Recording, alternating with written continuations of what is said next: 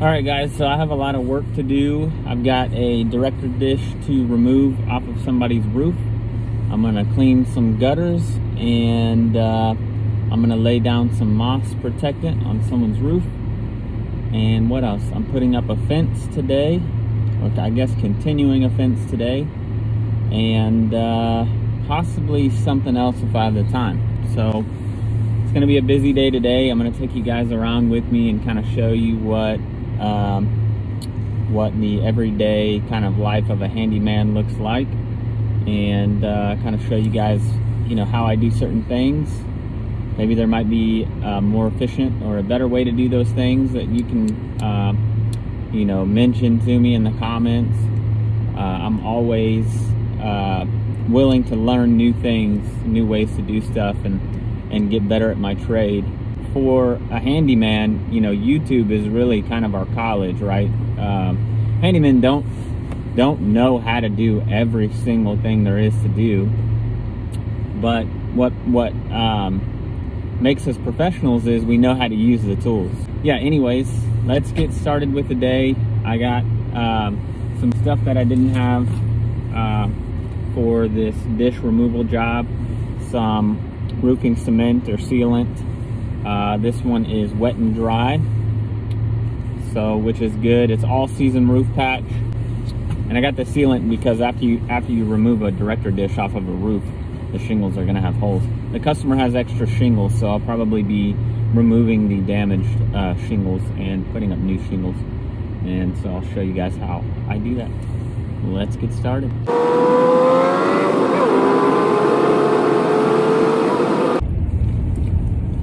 Breakfast. Some Jim. Need to get the job done, huh? All right. Just got up to the roof. There's the DirecTV dish right there. Luckily, I don't even need a ladder because I have a patio right here on the second floor. I can just crawl over this fence and get to that dish. Um, these are the gutters I'm gonna be cleaning. And then uh, after all of that, I'm gonna put some of the moss kill on the entirety of the roof. Let's get started.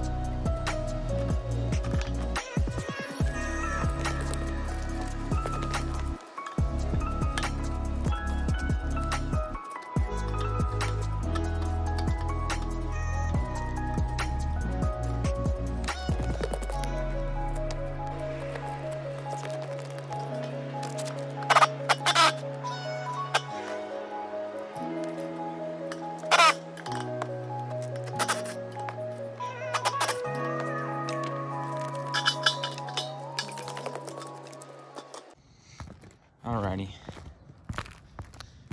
Now that the dish is off, I gotta replace these shingles. All these shingles that have holes in them, I'm gonna replace. Vice, just putting shingle sealant in there. I just wanna replace them all. That way there's no, no way uh, that this roof will leak. All right, now the shingles have had a lot of wear over time, so the shingles that uh, the owner has are the same shingles as these, but they're probably going to be a little different color because they don't have as much wear. So um, you'll notice that, and that is normal. Alrighty, I have all the old shingles um, taken out, the ones that are damaged. So now I'm gonna replace them and any holes that are in the actual roof, I'm going to seal up first um, with this roof seal. And yeah, and then hammer in the new the uh, new shingles.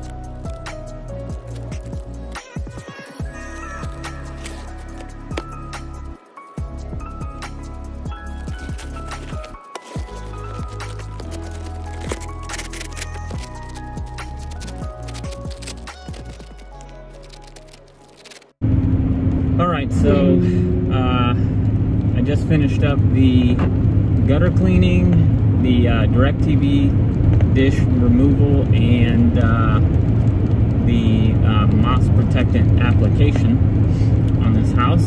And it took about three hours. My phone died uh, as soon as I got to the gutter cleaning and moss protectant application.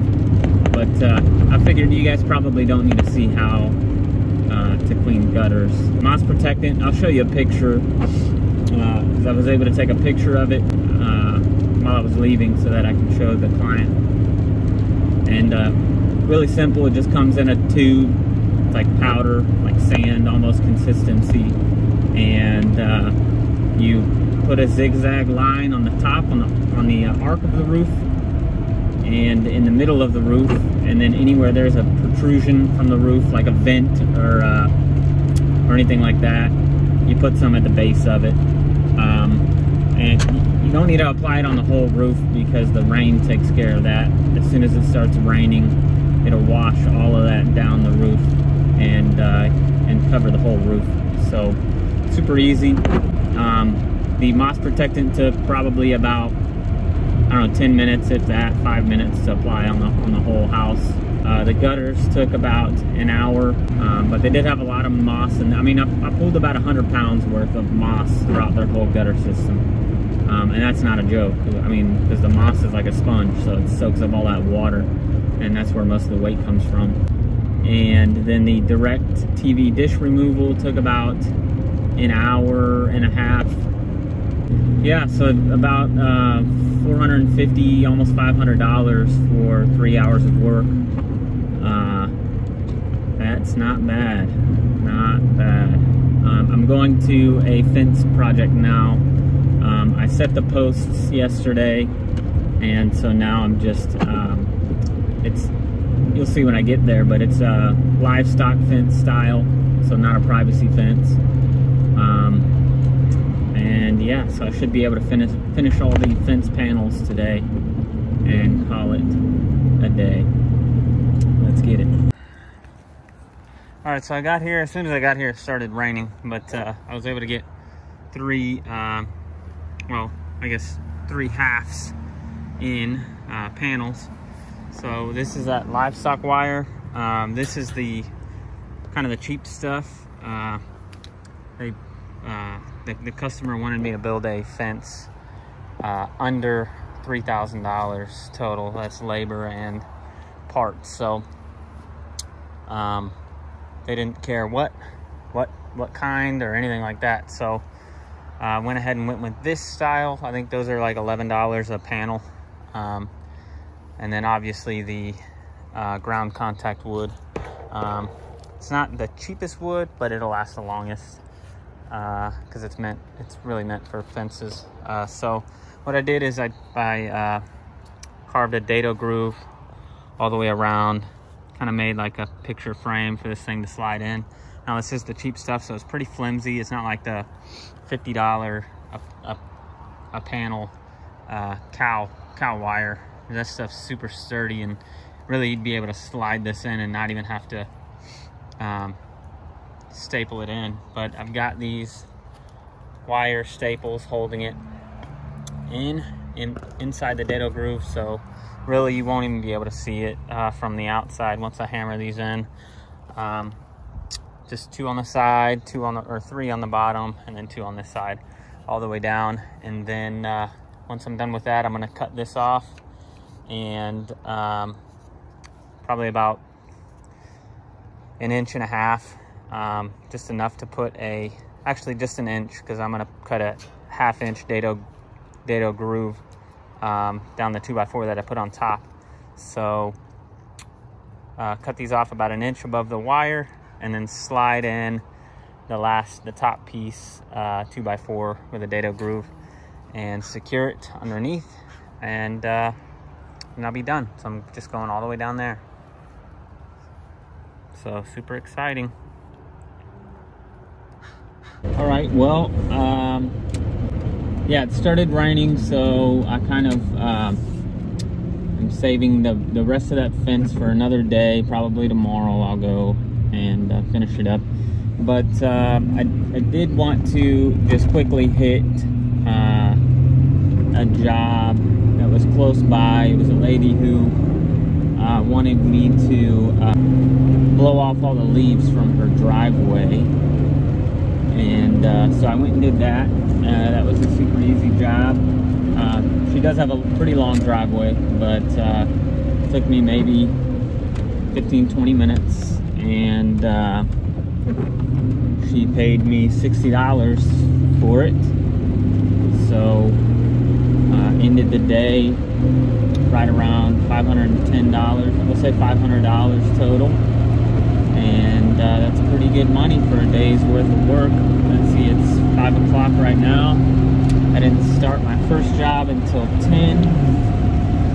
So that is only 7 hours. That's a 7 hour workday. So uh, that comes up to right around $80, $90 an hour. Um, yeah, so can't complain and I'm doing what I love to do. So that's kind of just giving you a little snapshot of the, the, day in the life of a handyman. So I hope you enjoyed today's episode and uh, I look forward to posting more videos for you guys to watch if you're into that kind of thing. And yeah, if I have any like big projects, I've got a couple big projects coming up. Installing hardwood floor, tile floor, and carpet all in the same house. Um, I'll make sure I get some pretty good video footage of that. Um, anyways, I hope you guys have a good rest of your day, and we'll see you in my next video. Bye-bye.